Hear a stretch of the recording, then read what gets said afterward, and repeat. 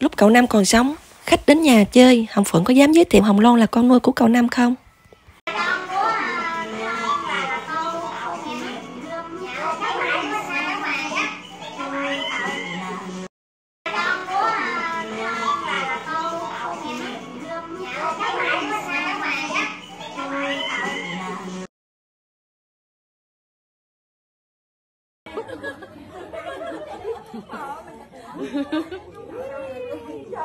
bánh này của ai vậy?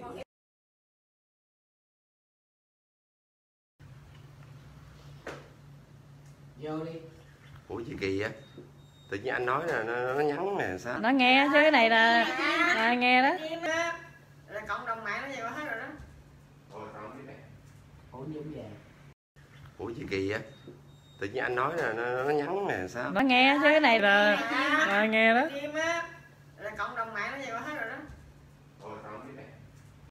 Đoạn này là mình liên tưởng đến di chúc mạng. Khi mà nói di chúc mạng, cộng đồng mạng ai cũng biết hết rồi đó. Thì chúa cũng trả lời